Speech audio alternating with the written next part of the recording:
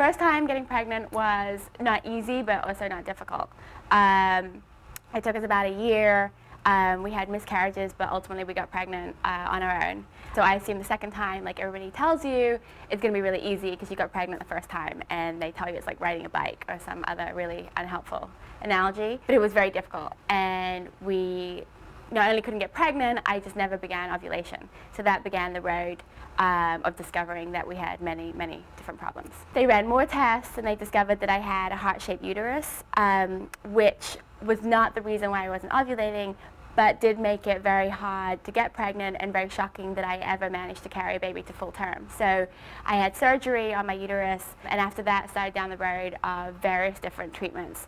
Um, you do Clomid to start ovulation. I, of course, didn't respond to that. Uh, we did injectables, that didn't work, and ultimately um, we ended up at IVF. And from there, at sort of every stage, I think, of infertility and treatment, especially uh, when you're young and they don't know why you're experiencing um, infertility and you've already had a baby, at every stage they tell you, this will work, don't worry, you're definitely going to get pregnant. So every stage becomes a little bit harder as you find out that it's not working. And three rounds of IVF resulted in an ectopic pregnancy that resulted in me having a fallopian tube removed. So at the end of this whole road, I was left not ovulating, only one fallopian tube, and still unable to get pregnant. I started taking the medication, and I felt pregnant. And I had already been pregnant, you know, a couple times with miscarriages and with my son. And I went in and I was like, look, I think I'm pregnant. Can you do a test? And I remember them looking at me and being like, oh, poor thing. She's moved over to the crazy side. Like she's really, this is just too much for her. She can't handle it anymore. She thinks she's pregnant. She's insane. So they humored me, they gave me a hug, they're like, it's gonna be okay. And my doctor called that day and was like, I don't even know what to say, but you're pregnant. And then nine months later, we had our son. So it, you just, you don't know what's gonna happen, ever.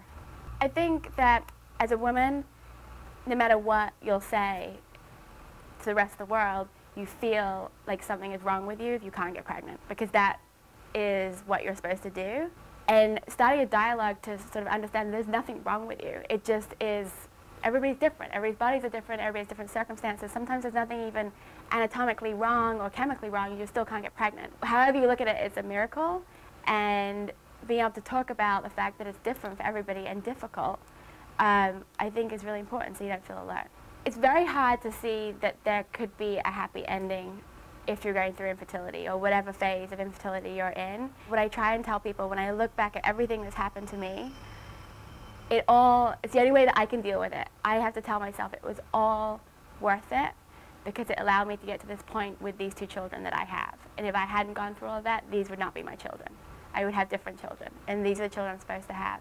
And whether you end up with your biological children or adopted children or even maybe not your children, maybe you're an aunt or an uncle, you have to believe that ultimately it's the right journey for you.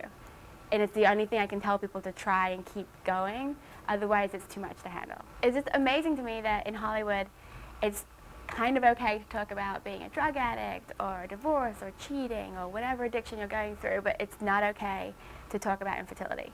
Now that you've heard my story, if you'd like to share your own story and join the conversation, please click on the link below. Thank you so much for sharing.